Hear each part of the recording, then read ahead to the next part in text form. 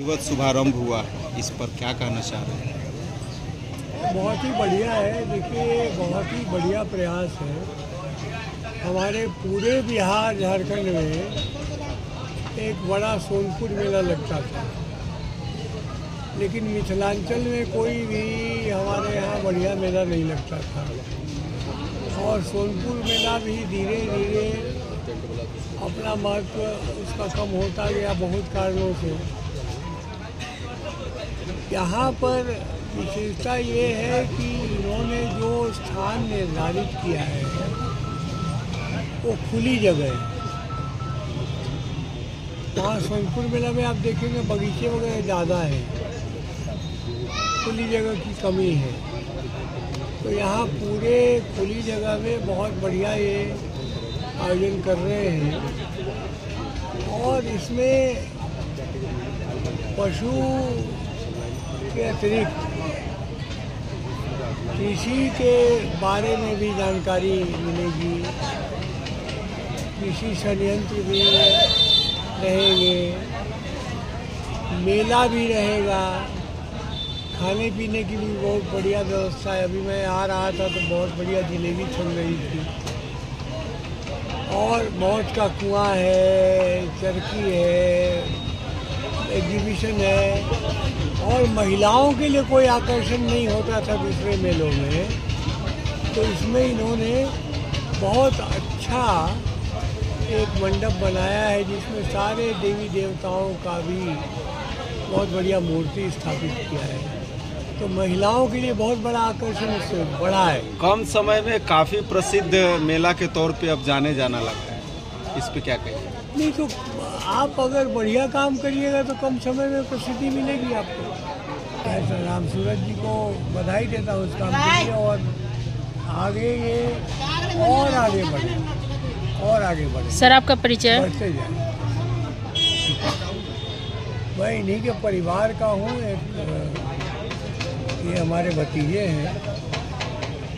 मैं राज्यसभा का सांसद था आर के सिन्हा नाम है हमारा। भाजपा का संस्थापक सदस्य हूँ। माँ के चरणों में मैं नतमस्तक हूँ।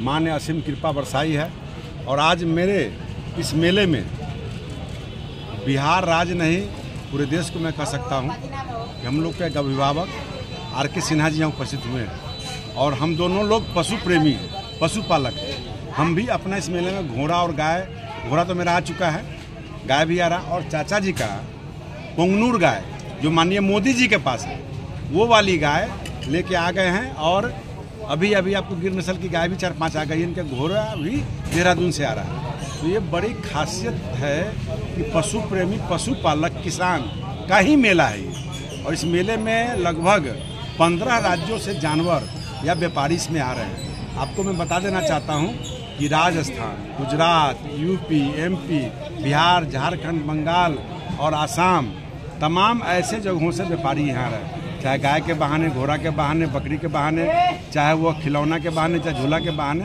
लगभग पंद्रह राज्यों से इस मेले में लोग आ रहे हैं। पिछले बार का यह मेला पंद्रह दिनों का था। लोगों का यह आग्रह था कि मेला का समय बढ़े तो एक महीने का मेला हुआ। इस मेला में सबसे बड़ा आकर्षण का केंद्र इस बार होने जा रहा है कि जो लोकल फॉर वोकल, लोकल को काम मिले, हंड्रेड परसेंट इसमें लोकल लोगों को काम मिल रहा। दूसरा कि यहाँ पर उन चीज़ों को हम जीवित कर रहे हैं। पुनरावृत्त कर रहे हैं। जैसे कुश्ती समाप्त हो गया था, घोड़ा का रेस समाप्त हो गया था, पशु प्रदर्शनी समाप्त हो गया था, उन सब चीज़ों को हम प्रदर्शित कर रहे हैं। और कुश्ती में पिछले बार आप लोगों ने देखा कि महिला और पुरुष का भी कुश्ती हुआ था। इस बार उसमें नया ऐड बच्चों का भी कुश्ती है। और एक महावीरी झंडा, जो हनुमान जयंती उपलक्ष्य में हम लोग यहाँ मनाने जा रहे हैं, वो झंडा अपने आप में अद्भुत होगा। वो झंडा सौ फीट हाइट होगा और सभी जगह का झंडा फिक्स रहता है। लेकिन यहाँ का झंडा मूविंग चलेगा और उसमें जो सौ फीट हाइट झंडा रहेगा, वो नाचेगा भी। और उसमें नेपाल के द्वारा लगभग 60 कलाकार आ रहे हैं, जो लगभग वो 20 दिन रहेंगे और 20 दिन 60 कलाकार अपनी कला प्रदर्शित करेंगे, जो पुराने टाइम में महावीरी झंडा में, तजिया में लोग जो झरनी खेलते हैं, रामलीला करते हैं कृष्ण लीला करते हैं, इस तरह का प्रदर्शन भी करेंगे। कोई टिकट नहीं, सब फ्री है।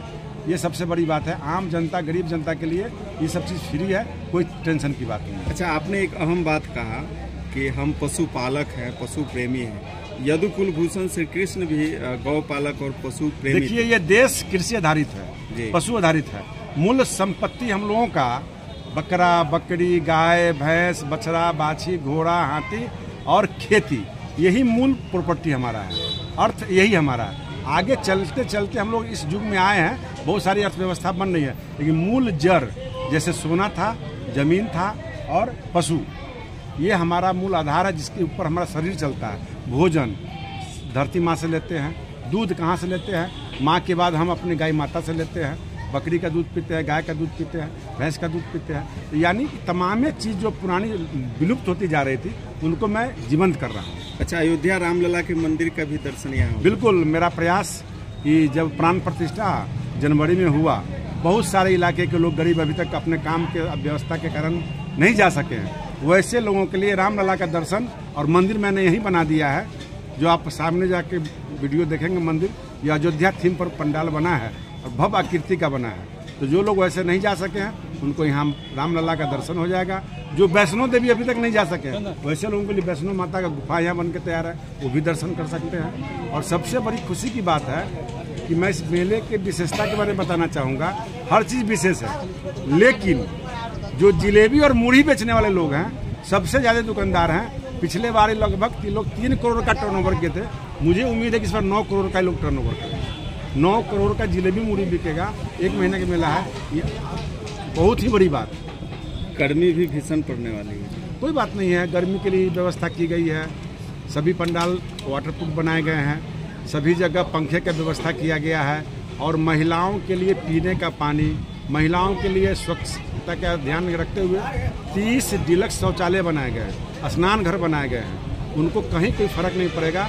यहाँ पर विश्रालय भी सब व्यवस्था किया गया। मेला पे क्या ये चुनाव का भी असर पड़ सकता है? नहीं नहीं मेला अलग चीज़ है चुनाव अलग चीज़ है। है। यहाँ कोई राजनीतिक पैलेस नहीं है। यहाँ पूर्ण रूपेण मेला का परमिशन है मेला नियमानुकूल चलेगा जनता अपने सुविधा अनुसार आएँगे और चुनाव यहाँ पर 25 मई और 20 मई को है। मेला ये 9 तारीख तक चलेगा 10 के बाद फ्री हो जाएगा। हम लोग लोकतंत्र का महापर्व भी मनाएँगे और ये भी पर्व मनाएँगे।